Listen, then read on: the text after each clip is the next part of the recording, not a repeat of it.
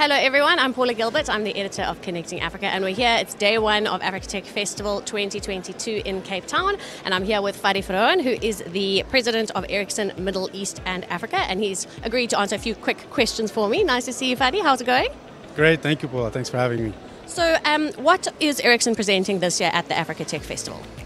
Well, for sure, we need to present uh, parts of our portfolio, which we are doing, both in terms of uh, billing, charging, OSS, cloud, and also radio. We are very proud of the radio, which we call 6626, because basically it's a new innovation which is based on the uh, requirements and input that we've received from our African customers here, the CSPs.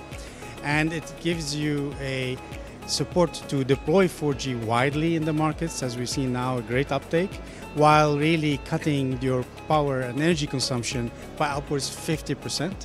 And since this radio is covering multiple sectors with two bands, it's basically doing the job of what we previously had to have six radios for.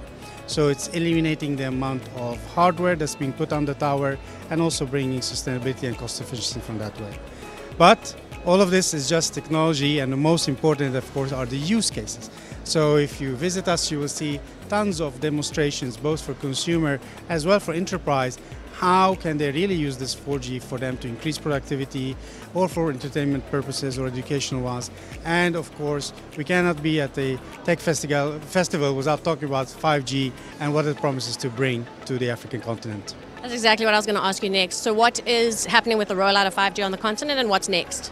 You know, it's really exciting that uh, we see already operators deploying 5G across several markets here. Uh, most probably the, the, the, largest one being Nigeria and South Africa, of course, but also other markets across Africa. And we all understand that when it comes to the device ecosystem, which is promising augmented reality and virtual reality for consumer enterprise alike, it will take a few more years for that to mature and to offer price points that you know affordable for the mainstream users. However, already today there is one case that makes sense, and that is what we call fixed wireless access. So basically, the service providers can offer home broadband services, high quality TV channels through these 5G technologies, and that is at a much better, you know, uh, price points than having to uh, invest in fiber. So that is really the first step for 5G adoption here in Africa. Okay, well, thanks so much. I think we're going to leave it there. Um, we are still here all week at the CTICC in Cape Town, so join us for Africa Tech Festival 2022. We hope to see you soon. Thanks, Fadi. Thank you. All the best.